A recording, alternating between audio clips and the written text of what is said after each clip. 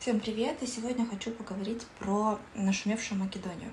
А, работа в Македонии в сезон а, очень прибыльна. А, когда в Македонии сезон? Прежде всего, прежде всего сезон это летний период с мая по октябрь. Здесь огромный наплыв туристов, местных отдыхающих, и местные отдыхающие, несмотря на то, что страна по пониманием довольно-таки бедная. Местные отдыхающие, э, те самые граждане, которые любят царить деньгами, а, э, красоваться и рисоваться друг перед другом, поставить, кто больше поставит, кто больше растратит, вот это вот все угощаю всех, все за мой счет, это как раз-таки про македонцев. Именно поэтому а, работа здесь, работа здесь для хостес является одной из самых прибыльных. А, в сезон, опять же, повторюсь, с мая по октябрь и сезон зимнего периода, в сезон новогодних праздников, это примерно декабрь и январь, девочки здесь зарабатывают минимум 100 евро в день. Это самый низший, низкий порог того, что может заработать хостес. От 100 евро до до были доходы и 200, и 300 евро, но я не люблю э, обещать много, и хочу, чтобы вы рассчитывали хотя бы на минимум, да, 100 евро вы можете делать каждый день, особо не напрягаясь. А, довольно лайтовый а, график, довольно лайтовая работа, при этом в удовольствие, потому что страна очень красивая. А, есть что посмотреть, посмотреть, есть куда сходить. А, довольно весело проходит и само рабочее время. А, большой дружный коллектив девчонок, многонациональный коллектив. Это всегда очень интересно и очень здорово. Итак, сейчас основной момент, с которым сталкиваются девочки при оформлении в Македонию, это визовый вопрос. Так как в этом году не было продлено безвизовое соглашение между Россией и Македонией, немного усложнился процесс, но все равно все возможно. Но сначала хотелось бы рассказать немножко о самой работе, о клубах, которые здесь есть. А, здесь есть два вида клубов. А, клубы с танцами, клубы dance, где девчонки танцуют а, в зале. Здесь работают и профессиональные стрип-танцовщицы, и девчонки без опыта работы в стрипе, без опыта работы в танцах, в принципе, но готовые танцевать. Танцы здесь не на сцене, а танцы в зале. В зале около столов. Dance, танец для гостя, около его стола около его стола, около его стула. Девчонки работают в костюмах, гоу-гоу костюмы, стрип-костюмы. Они в зале не оголяются, не раздеваются. Здесь нет ни топлес, ни full стрип в зале, то есть э, девочки одеты, но танцуют вот для гостей. Недавно ввели, э, добавили приватные комнаты, то есть теперь есть и возможность работать с приватами. Что здесь? Здесь мы работаем с 22.00 до 4-5 утра, 6-1, то есть один выходной в неделю стабильно девчонкам предоставляется. А, при трудоустройстве с танцами, с танцами либо стрип, а, есть компенсация билета. Компенсация билета до 100 евро, при стоимости билета дороже 200 евро. Если билет стоит дешевле, чем 200 евро, а, вам необходимо предоставить, во-первых, чек, и вам компенсируют 50% от стоимости билета по истечению а, отработки одного месяца. Что еще? А, также есть второй тип клубов, где девчонки работают хостес. Это не совсем стандартный хостес, где пассивная консумация либо активная консумация. Здесь девочки работают также в зале.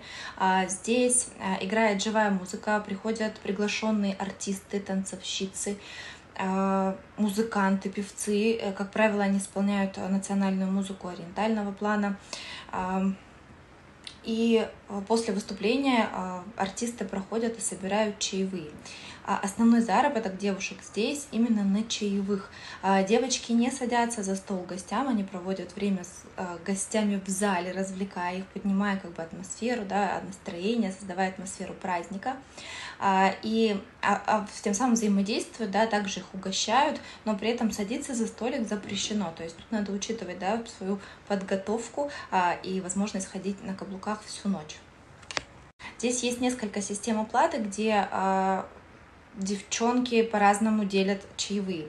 Основной доход, повторюсь, на чаевых от артистов. Артисты здесь а, та самая золотая жила. Вот они выступают, они проходят, собирают чай, и по окончанию смены этот чай делится а, между стафом всего ресторана. Туда входит, соответственно, и а, коллектив девчонок, хостес. А, различные системы оплаты. Если вам интересно, напишите в личку, я вам пришлю, потому что здесь три варианта, не хочется загружать видео а, лишними цифрами. А, по визовым моментам вернемся к ним. Прежде всего, девочки из Украины. Сейчас руководством клуба было введено, возможно, была введена возможность добавить к девчонкам к окладу плюс 10 евро. Если девушка работает хостес а, в музыкальном клубе, она получает, соответственно, 40 евро вместо привычных 30 евро. И если она танцует lap dance а, в клубе в ночном, то получает ставку 50 евро вместо стандартных 40 евро. За что, конечно, огромная признательность и благодарность а, составу администрации клуба.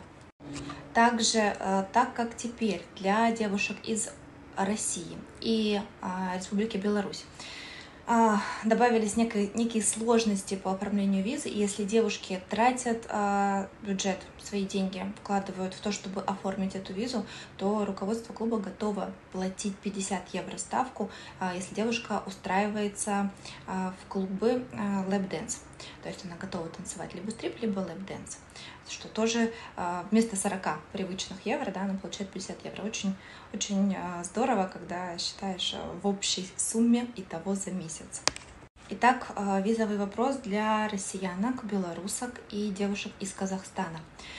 А, Россия, а, Россия и Беларусь. А, теперь мы влетаем туда по приглашению. Не то самое приглашение, которое было оформлено раньше. Если раньше мы оформляли просто приглашение, и с этим приглашением мы просто да, покупали билет и на границе его предъявляли, оно являлось основанием разрешения на въезд.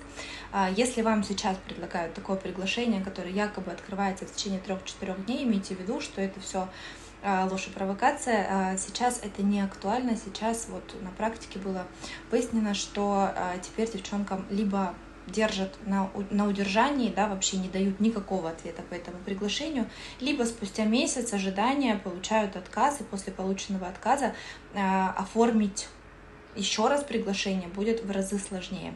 Теперь а, оформляется приглашение, высылается его электронная копия, фотография, скан без разницы. С этим приглашением девушка а, из России либо из Беларуси в Москве идет, оформляет визу, национальную визу Македонии. А, на основании этого приглашения открывается виза, и с этой визой девушка уже летит в Македонию с правом пребывания 90 дней. Это вариант номер раз. Вариант номер два, не менее интересный, очень выигрышный, открыть шенген-визу.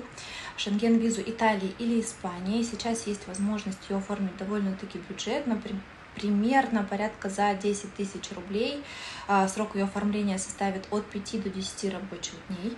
А, с личной подачи, обязательно с личной подачи консульства, а, список городов я могу написать вам в личку, если вам интересно. А, открываем шенген-визу, и по этой шенген-визе мы влетаем. Как правило, визу сейчас вот эти страны открывают на полгода, не слушайте никакие страшные истории, открывают, действительно, это проверено, доказано уже на личном опыте. И по этой визе мы влетаем в Македонию с правом пребывания 90 дней, с пометочкой, что дни по Шенгену у нас не вычитаются. То есть вы по этому Шенгену находитесь 90 дней в Македонии, и после этого вы можете прямо из Македонии полететь в Италию, в Испанию, на Кипр, а, в Грецию, либо любую другую страну. Вариантов сейчас очень много, к счастью. И пребывать там, на территории Европы, на территории шенгенской зоны, еще 90 дней. То есть а, одна виза дает вам возможность Э, закрыть потребность поработать и в Македонии в высокий, высокий сезон, и после, так как коридор будет полгода, э, вы можете поехать в Европу. Э, очень круто, очень здорово, очень довольно-таки беспроигрышный вариант, потому что визовые затраты тут минимальные. Есть возможность переоформить свою визу на рабочую. Рабочая виза с правом пребывания официального разрешения работать на территории Македонии – на год. Год, и вам дают каждые три месяца отпуск на неделю, на две, там по договоренности, всегда все можно обговорить и согласовать. Э, вы можете ездить по Македонии, отдыхать э, на море, ездить в другие страны, выехать в соседнюю Албанию, где тоже очень красиво, очень здорово, либо слетать домой, что тоже да, важно. И целый год вы будете при деле, при работе и с официальной визой. При отработке года это оформление визы для вас будет совершенно бесплатно за счет клуба. Повторюсь, что сейчас здесь высокий сезон, поэтому я искренне рекомендую а, работу в Македонии, потому что есть возможность классно заработать, классно провести свое лето. И напоминаю, что сейчас из Македонии билеты гораздо дешевле по а, соседним странам, в Европу, в Турцию, на Кипр, а, вы улетите гораздо дешевле, чем лететь из страны гражданства, если, конечно, да, это, ну, это касается, в общем-то, всех стран СНГ.